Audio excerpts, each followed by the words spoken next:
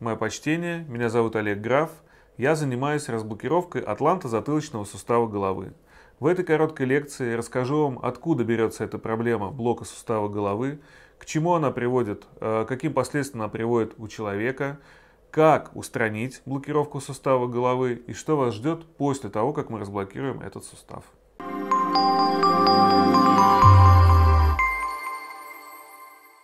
Что же представляет из себя сустав головы? В его состав входит первый позвонок шейный атлант, второй шейный позвонок аксис и сама голова, которая на макете представлена э, затылочной частью головы.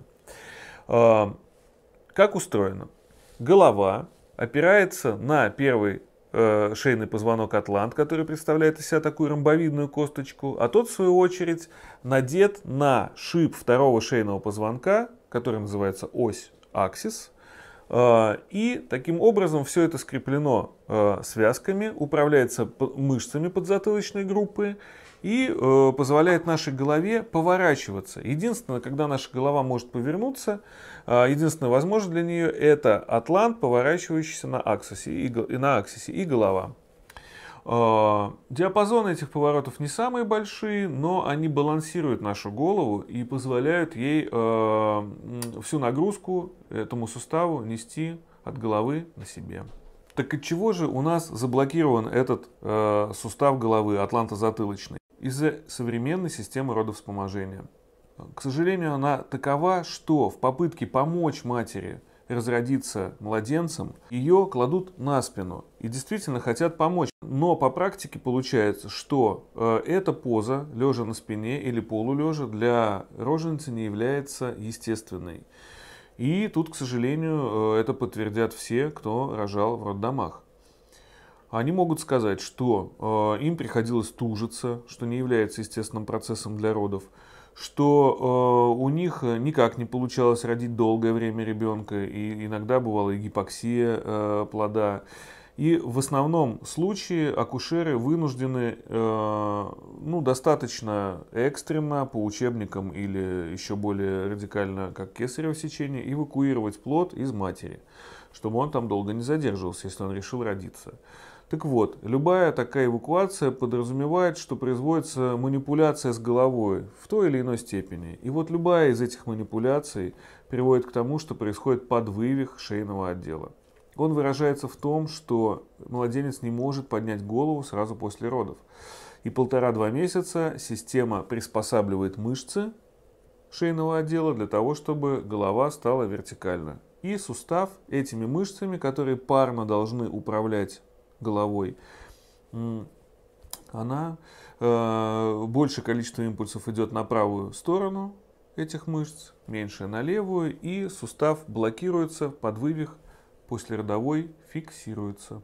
Что самое интересное, э, из положения сидя ребенок появляется в основном без проблем, и голову может поднять сразу. Тяжелая голова давит не на предназначенный сустав, а весь вес ее, допустим, э, уходит на шейный отдел. Шейный отдел имеет естественный прогиб, называемый лордоз. И этот лордоз очень часто начинает выпрямляться, пытаясь скомпенсировать вес головы, который падает на него, на этот шейный отдел, вместо того, чтобы падать на сустав. Бывает, что минует этот шейный отдел, минует нагрузка и падает сразу, например, на седьмой шейный позвонок, на первый грудной позвонок. И тогда эти позвонки выпячиваются из-за неправильно свешенной головы. Ну, допустим, человек любит вот посидеть вот так вот, долго почитать за компьютером. И вся нагрузка идет на этот отдел. Бывает, что и на грудной отдел. В грудном отделе тоже должен быть естественный кифоз. И он превращается либо в гипер, либо в гипо. Все тоже зависит от того, как падает нагрузка, как развивался человек. Дальше.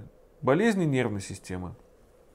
Болезни нервной системы возникают из-за того, что при блоке сустава головы поджимаются нервы, идущие из черепа и иннервирующие, проникающие, снабжающие чувствительностью, и не только там двигательные нервы, ну, в общем, э, вся эта система нервов, она вся спускается из головы и проникает во все тело. Самые частые явления из-за этого – это головные боли. Головные боли различные различной степени. А, значит, если поджимает подзатылочную группу нервов, где угодно, может быть, э, она появляется. Если поджимает более глубокие нервы головы, начинается мигрень. Вот, и э, даже самые сильные препараты почастую, ой, зачастую не помогают. Как же именно происходит разблокировка сустава головы? Разблокировка сустава головы представляет из себя силовую разминку мышц в вашем шейном отделе. Она не подразумевает э, ничего, кроме точечного воздействия на сами мышцы, находящиеся в подзатылочной области.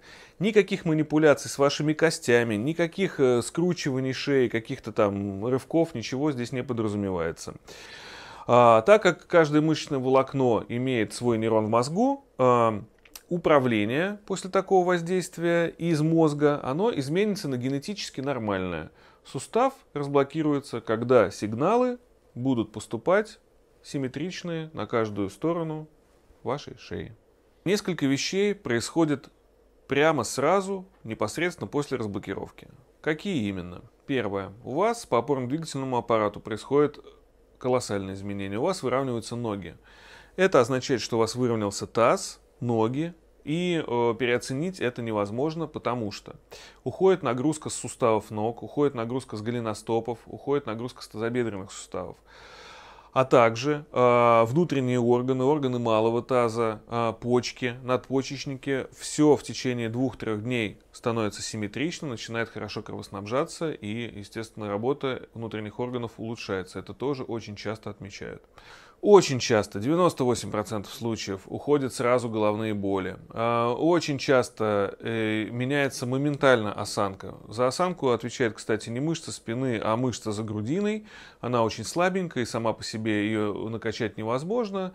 Но как только управление налажено, нагрузки распределены, осанка выпрямляется, люди сразу становятся прямо. Это очень многие отмечают, и я думаю, что вы не будете исключением. Что вас ожидает э, второе, но моментально – это налаживание кровоснабжения, нормализация кровоснабжения головного мозга, притоков и оттоков в головном мозге.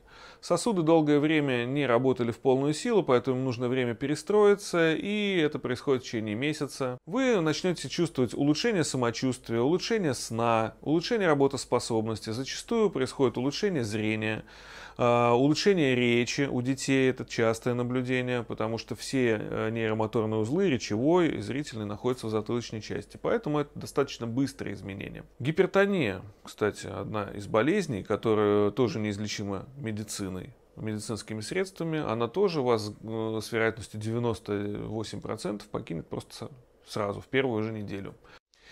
А, Но ну, в общем и целом, что вас ждет? Это под правильно стоящую голову тело начинает выстраивать баланс как положено. То есть, а мы задуманы симметричными, отбалансированными существами. Как только у нас голова начинает давить на разблокированный сустав, то все остальное тело под правильно поставленную голову, под правильно стоящую голову тоже восстанавливает свой баланс.